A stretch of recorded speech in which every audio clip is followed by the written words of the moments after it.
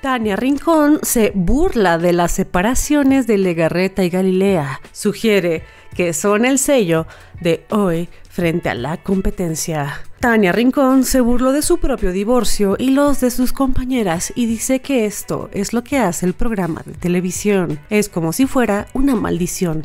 Entérate rápido con Noticias Virales MX. Tania Rincón es una de las integrantes del mundo del espectáculo nacional más reconocidas entre el público, pues a pesar de su mediana edad, cuenta con lo menos por lo menos de 20 años de trayectoria que respaldan su amplia carrera. El proyecto con el que la audiencia mayormente la relaciona es la revista matutina de TV Azteca Venga la Alegría, y aunque también ha participado en programas musicales, de análisis deportivo, de supervivencia e incluso Participó como reina de belleza, actualmente labora en Televisa para Hoy. En las últimas semanas, ella junto a sus compañeras Andrea Legarreta y Galilea Montijo han sido protagonistas de la polémica, pues de manera casi simultánea anunciaron la separación de sus respectivos esposos. La coincidencia fue tal que parte de la audiencia consideró el hecho como una estrategia publicitaria.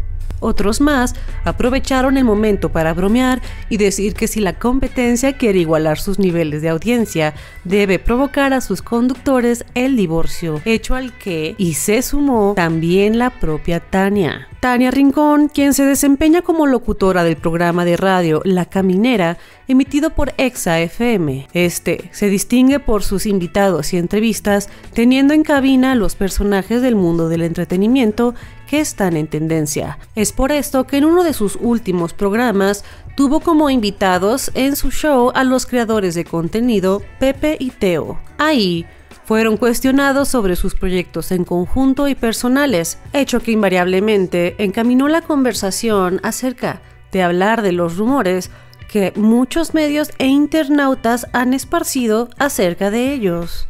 Pepe, quien también es conocido como Ricardo y quien fue el ganador de la última edición de MasterChef Celebrity, habló sobre las especulaciones que afirmaban que formaría parte de un nuevo programa matutino en TV Azteca junto a Ingrid Coronado, Marco Antonio Regil y Mancera. Llevarían por nombre Buenos Días México.